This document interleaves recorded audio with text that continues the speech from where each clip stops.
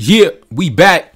Now, I'm thinking about starting a new series where I talk about real life events, right? I'm not saying that I'm going to become a channel that's delivering the news like CNN. Nah. But when I see a news article, when I see a story that I think, you know, we can talk about, that we can learn from, and also we can talk about the reality of what's going on out here in these streets. Because y'all might not know this, but I don't watch TV. I might listen to podcasts on YouTube, things like that. But really, I don't really indulge in television, you know, TV shows, movies. I don't really get into that. But a habit of mine, something that I do do for entertainment. I know it sounds crazy. I like to go to the county clerk's office website for different states, different counties across the country. And I like to just go through the arrest records, you know, read the criminal affidavits, see what people out here getting arrested for. That's kind of a source of entertainment for me. You know, I know that might sound crazy to some, but just because it's actually really happening and it gives you an idea of the world that you live in, right? And I'll say this right now. Listen, the world is a crazy place. It's a depressing place and it's full of people with mental issues. But let's get into it, man. In this story, we're going to talk about a black father kicked his son out the house, and then his son came back and tried to take his life. Let's get into it, man. Of course, this happened in no other state but the good old state of Florida. Now, let's get into it.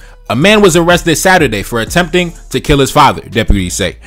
Palm Beach Sheriff's Office responded to a shooting on October 1st. Upon arrival, they found the victim who stated that he was riding his bicycle on 3rd Street when he noticed his son, Weekendly Felix, I know he Haitian, and two people on the side of the road.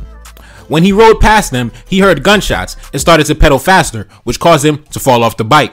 In the arrest report, the victim stated that when he looked back, he witnessed his son shooting at him. Officers canvassed the area and found Felix sitting in the front yard of a house about 20 yards from where the shell casings were found. Felix was detained and transported to the Boynton Beach Police Department.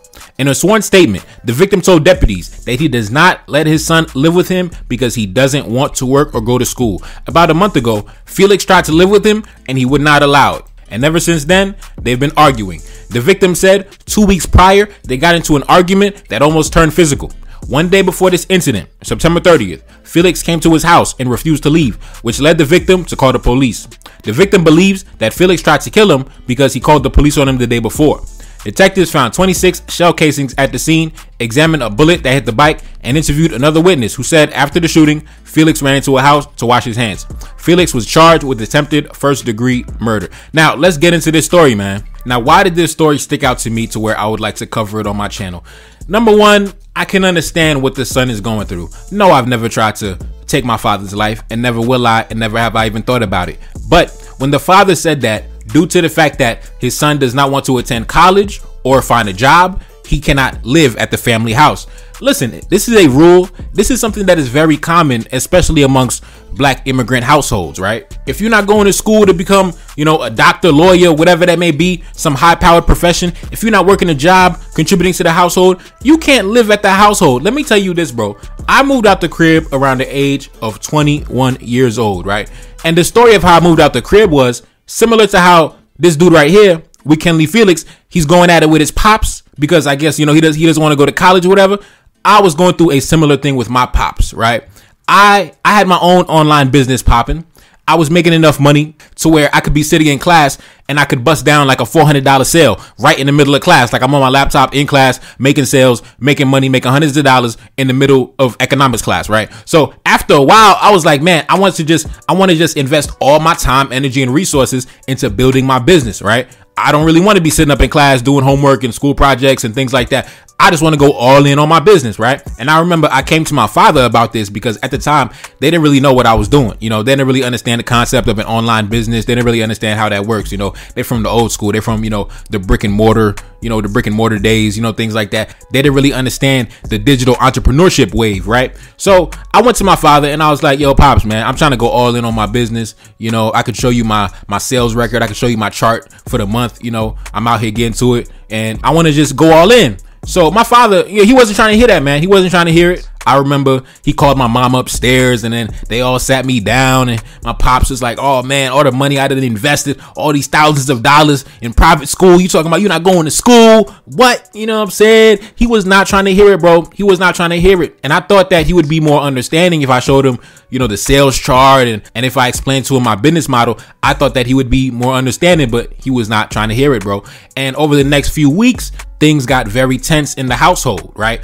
To one point, it actually got physical, right? I didn't throw the punch. Actually, my pops was the one that swung on me. And after he swung on me, right? So, you know, at this point, I'm young. I'm making money, right? You know what I'm saying? I'm making like, I'm making money for a dude my age, right? And I'm making the money independently. So I'm feeling myself, right? So I'm like, man, who you, like, man, who, don't, don't touch me, man. Like in my head, I didn't say that. But in my mind, I'm like, man, who you touching, bro? Like, like I, I really get money, like bro. Like I don't gotta be here. You know what I'm saying? So me, right after that, I started looking up apartments. I started looking up, you know, I'm trying to find my own spot, right? Because I know that I can't really live under here peacefully, right? Without going to school, without so I already knew. So me, I started looking for a place to stay. As soon as I found my own spot and got it locked in, which I was able to do pretty quickly. At first, what I did was I booked the Airbnb for a few weeks until I could get into my spot, right? I wrote a note, I printed up a note to my parents, basically telling them, listen, I'm about to do my own thing. You know, I got my own spot.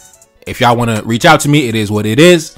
And me and my pops, after that, we didn't speak for about a year, right? We didn't speak for about a year until I had like a medical emergency and I ended up in the emergency room and then he showed up and then we've been cool ever since. But I say that to say this listen, this is just a common thing in black immigrant households, right? In I, I would assume African households, Caribbean households, you can't be at the crib unless you're going to school and pursuing higher education. And unfortunately for the young homie, instead of finding a hustle about himself, instead of finding something to do, he was emotionally frustrated. I don't know. I guess he was homeless. I don't know what he was doing. I don't know where he was staying. But his father was riding a bike down the road and he decided to empty the clip on his pops. That's that's insanity. You know, that's insanity. That's not how you get revenge on your pops. You get revenge on your pops by showing him I'm going to move out the crib. Not only am I going to move out the crib, but I'm going to be able to sustain myself independently. And after that, guess what, bro? Once they see that you're able to stand on your own two feet, with or without school, with or without a degree, they're going to respect it. They're going to respect it, especially if you did it independently, right? You're an entrepreneur, you started your own thing. They're going to respect it, bro. They're going to be like, man, how you do it? After a while, my pops actually sat me down and was like, and guess what? My pops is a businessman in his own right. He's an entrepreneur in his own right. But then one day he actually sat me down and we spoke for hours on my business model, right? He wanted to know how'd you do it? How'd you start it? You know, because my pops went into business for himself at a late age, you know, into way into his 40s. I went into business for myself around 19, 20 years old with the internet. So different era, different time period. So he was curious. After a while, they respect it, right? They just want what's best for you. You know, they don't want to they don't they don't send you out and kick you out the crib just because they want to harm you or because they hate you. In fact, your parents got big dreams for you. They want you to be a successful black man or woman out in this world. And unfortunately, the young homie might not be able to realize that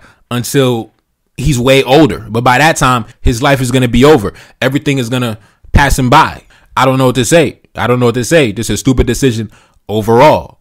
Honestly, man, but yeah. Yeah, so I might just start dropping in on these news articles that I find interesting. It's not going to be a frequent thing. Plus, the news is depressing, man. I'm not about to turn my channel into a depressing place. I want my channel to be an empowering place, a happy place. I'm not going to, trust me, it's not going to be a frequent thing, but every now and again, I might come in with a news article. It is what it is, right? Anyways, like, share, subscribe. Cash App in the description. Support the platform. Support the platform. It's your boy Neferkare Dessalines back in the building. Yes, indeed. And I'm gone. Peace. Reincarnated, I'm back in original fashion. I left on a horse and came back in the ass, and I left with abundance and came back to famine. We used to be pyramids, now we be rapping. Look how the mighty have fallen. To be running, now we be walking. When you be cooning, that's when they applaud it. Selling your soul, your sons and your daughter. Gotta come up in this shit. They stuck in the mix. Really, my heart it be breaking. That's why I'm stacking that paper and handle my business. Pass it down in generation. Talking about money and power and building a nation. That's a deadly combination. Never be watching the TV, they pushing the agendas, falsifying information. Know they got malice intentions. Step in the room and I'm feeling the tension. Enemy watching me blocking my vision. Pay for the check cause I need my redemption. Building my kingdom, I need it protected. Ready young money Congo. Never decided the team is the motto. Up in the crib and I'm whipping up waffles. Up in the crib and I'm smoking gelato. I'm chilling, I'm taking my pain. and it ambition. I'm blessed by the gods, but I ain't religious. I came for the power, they came for the bitch. They making no hourly wage, I got business. This is an art, and they could never be taught. Selling my soul, I can never be money, I see you in court. Run to the check, and I do it for sport. Babylon falling, I go to the source. Packing my luggage and go overseas. Shorty be with me, and she so elite. Shorty be chocolate, I'm calling her Hershey. Secret intelligence probably gon' murk me. Don't fuck with brands, cause nigga, I'm Haitian. Say the wrong shit and you're smacking their faces.